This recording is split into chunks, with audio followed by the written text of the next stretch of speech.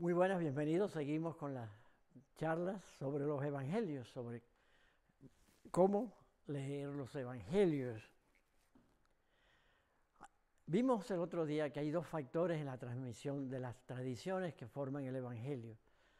Por un lado están los narradores, que son, eran los predicadores itinerantes, gente que iban predicando y hablando de Jesús a las distintas comunidades y contaban las historias de Jesús y después, por otro lado, estaba la audiencia, que eran los que escuchaban las historias y hacían las preguntas y profundizaban según sus propias problemáticas.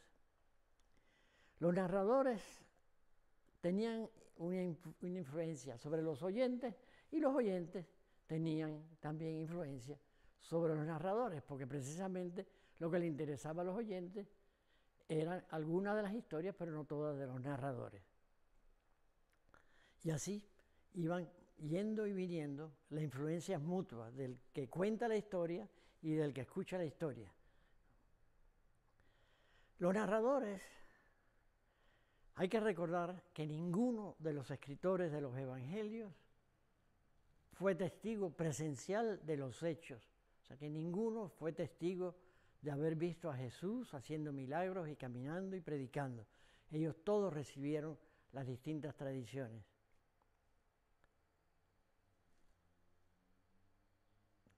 Espero que esto lo vas a cortar, ¿verdad? Hay dos tipos de, transmisión. Una de ellas es una transmisión oral. La gente que va hablando, los predicadores que van caminando y van hablando. Y las mismas historias van cambiando al pasar de uno a otro. O sea que cuando había un, uno que estaba oyendo que después iba a predicar, a veces cambiaba algunas otras cosas. También hay cambios por la memoria a la gente se le olvidó algunas cosas y también añadían algunas cosas y finalmente tenían algunas maneras de recordar. Vimos también que para los milagros se seguía un esquema bastante fijo. Se seguía el esquema de primero la situación, después el encuentro con Jesús, después el llamado a la fe y después la curación. pero también había tradiciones escritas, sea, que había relatos que ya estaban escritos, historias o anécdotas sobre Jesús que estaban escritos y se iban transmitiendo. Hay que recordar que en aquella época los materiales para escribir eran muy caros y la gente contaba más con la memoria que con la escritura. Y también había, aparte de los relatos escritos, había colecciones de dichos que todavía hoy se usan esas colecciones de dichos. ¿Qué efecto tiene la audiencia en, los relatos? La audiencia refleja sus problemas en las historias que escuchan, en la historia que les interesa, sus problemas sociales, sus problemas políticos, sus problemas internos. Y eso precisamente es una de las cosas por las cuales hay una diversidad, hay una diferencia en la distinta presentación del mismo Jesús, porque distintas comunidades tenían distintos problemas, tenían distintas situación social, distinta situación política, y eso hace que la misma historia cambie según la comunidad. Por eso, cada evangelio presenta al mismo Jesús, pero de una manera distinta. Un poco para ver cómo las tradiciones, los relatos se iban transmitiendo, es ponerlo de una manera gráfica. Por un lado tenemos a Jesús y pongamos sus doce discípulos, que eran más porque había también doce apóstoles, pero había más discípulos. Esos discípulos veían a Jesús y Jesús tenía sus dichos, su manera de comportar, lo que hacía, tenía influencia. Cada uno de los, de los apóstoles lo veía de una manera distinta, como nosotros la misma cosa la podemos ver de distinta manera. Esos, a su vez, los discípulos comentaban entre sí lo que habían visto, y eso es una manera de influirse los unos a, los otros. También hoy en día lo vemos mucho. Eh, uno está en un sitio y dice, ¿te fijaste en tal cosa? ¿O viste tal cosa? ¿O viste lo que hizo fulano? O sea que hay un intercambio entre los mismos discípulos. del mismo hecho, de lo mismo que había dicho Jesús. Pero viene el gran momento, que es el momento de la resurrección, en el cual los discípulos comienzan a entender muchas de las cosas que ellos habían visto antes. Y vemos en el Evangelio de San Pablo, dice, esto no lo entendieron los discípulos en aquel momento, pero cuando Jesús fue glorificado, se acordaron de todo lo que había sucedido, que todo lo que había sucedido era lo que estaba escrito acerca de él. O sea que después de la resurrección, los mismos hechos los discípulos los entienden mejor, los entienden de distinta manera. Al principio, inclusive en muchos evangelios, los discípulos se preguntan qué cosa es eso de la resurrección. Ahora, ese que ellos habían visto ya viene con la modificación de la resurrección. Y viene entonces también los cambios que vienen por la tradición oral. Uno dice una cosa y otro dice otra. Están hablando del mismo hecho, pero cambia algunas palabras o cambia la manera en que se expresa. La transmisión oral, a su vez, cambia por la adaptación cultural. Un predicador que, que estaba predicando en Palestina, en lo que es hoy en día Israel, tenía que hablar de una manera distinta a un predicador que hablaba en una gran ciudad griega. Y por eso se iba cambiando, va cambiando, se, se hace el filtro.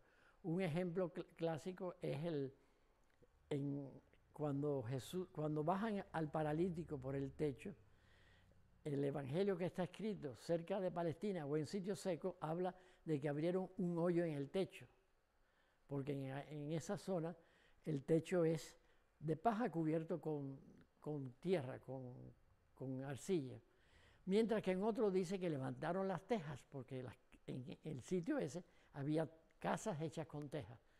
No cambia la historia, pero sí cambia la imagen para que la gente lo entienda. O sea que hay una adaptación cultural. Y después, más aún, ya viene la problemática propia de los oyentes.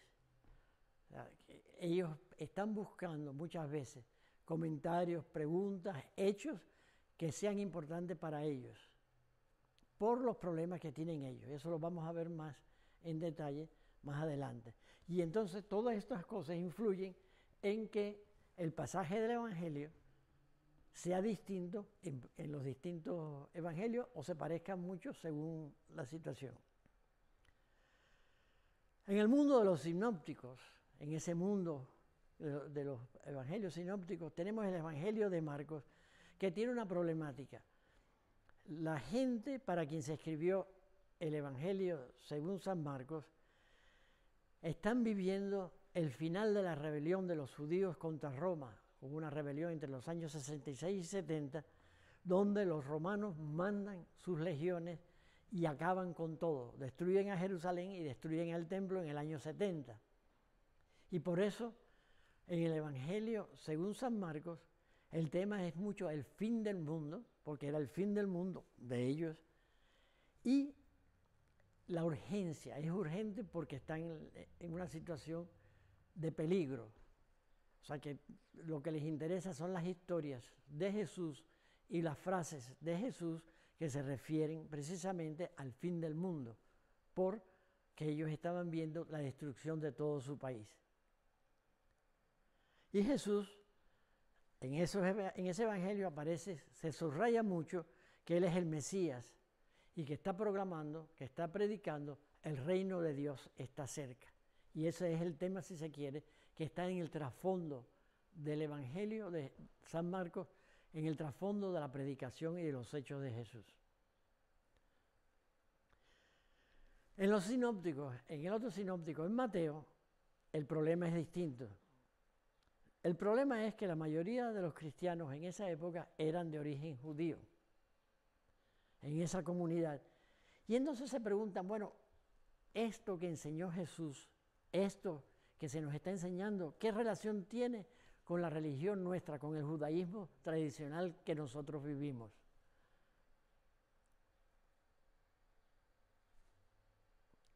Y por eso precisamente uno de los puntos es que se subraya en el Evangelio, según San Mateo, es que no hay ruptura, no hay un cambio de religión con la religión de los antepasados es la misma religión con sus raíces en lo que llamamos nosotros en el Antiguo Testamento, que muchas veces se le llama el primer testamento a oposición de, o en contraposición al segundo testamento, que es el Nuevo Testamento.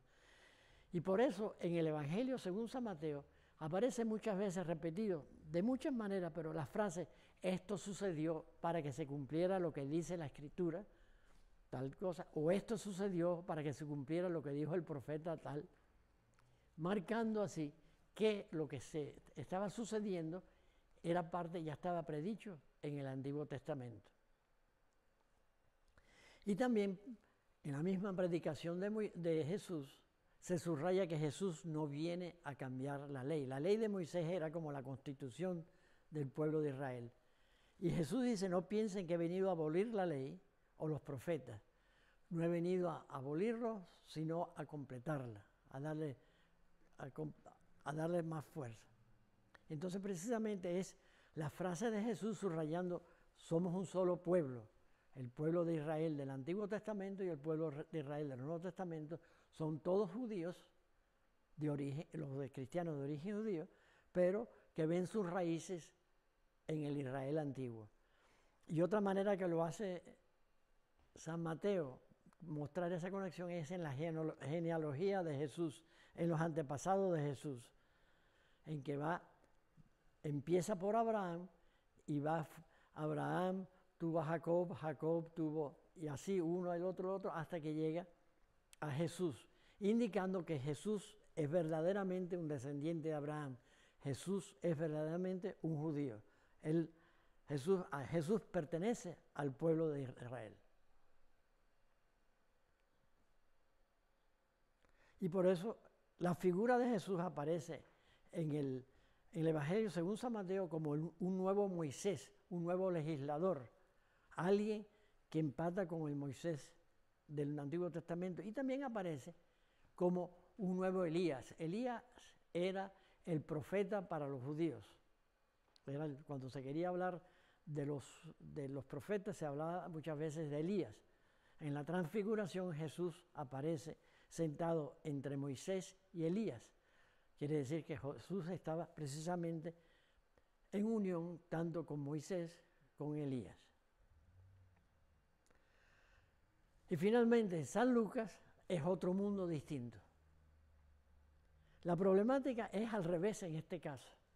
La mayoría de los cristianos ya en esta época eran de origen pagano, de origen no judío. Y entonces se hace la pregunta, ¿cómo puede ser gente parte del pueblo de Dios sin convertirse al judaísmo, sin hacerse judíos antes? Y es precisamente cuando se profundiza más la idea de que para pertenecer al pueblo de Dios lo que hace falta es estar unido a Cristo. La unión con el pueblo de Dios se hace en Cristo. El bautismo es lo que lo une al pueblo de Dios. Y no importa el origen que uno tenga. Es interesante cuando uno ve el Evangelio, la profecía de Simeón, cuando presentan a Jesús en el templo. Él dice que, entre otras cosas, tu salvación que has puesto, está hablando con Dios, que has dispuesto ante todos los pueblos como luz para iluminar a los paganos y como gloria de tu pueblo Israel. O sea que Jesús viene a ser luz para los que no eran judíos, luz para los paganos y también gloria para el pueblo de Israel. Es interesante que en el Evangelio, según San Lucas, también hay una genealogía, pero la genealogía es al revés. San Mateo la hace de Abraham hacia Jesús. San Lucas pone la genealogía, pone los antepasados de Jesús, empezando por Jesús y da marcha atrás hasta que llega Abraham y no se queda en Abraham, sino que sigue y va hacia atrás hasta que llega y dice hijo de Adán o engendró a Adán y finalmente Adán es de Dios en, cierta manera diciendo, Jesús es de todo el mundo, es de toda la, humanidad, no pertenece a un grupo pequeño de personas. Y precisamente Jesús aparece en el Evangelio, según San Lucas, como el Salvador de todos, como es aquel que le predica a todo el mundo, judíos y paganos. y subraya mucho que la salvación viene para todos, no es para un grupo nada más. La pregunta que uno se hace es, cuando uno ve todas estas cosas que afectan, dice, bueno, entonces los evangelios son cuentos. No. O sea, los evangelios no pretenden ser biografías de Jesús, no pretenden ser escritos que escriben la vida de Jesús. Si fuera eso, estarían mal, porque hay algunos que ponen un hecho en la vida de Jesús al principio y otros lo ponen al final. Son narraciones sobre Jesús, escritos en el estilo de hace dos mil años, que es distinto a la, manera de ahora, aunque también cuando uno ve las noticias, a veces uno se pregunta si, no si somos tan distintos. Y lo que importa ahí es las enseñanzas de Jesús y la persona de Jesús. O sea que son escritos, testimonios de gente que cree, de, fe de la gente que cree, escritos para gente que cree. Es una manera de compartir la fe. Y por eso es precisamente la fuerza que tienen los evangelios, porque hablan a todas las generaciones. Los evangelios son, nos pueden estar hablando a nosotros en el siglo XXI de cosas o con palabras o con hechos de hace, 20, de hace 2000 años. Y por eso tienen la importancia, por eso tienen relevancia para todos los tiempos.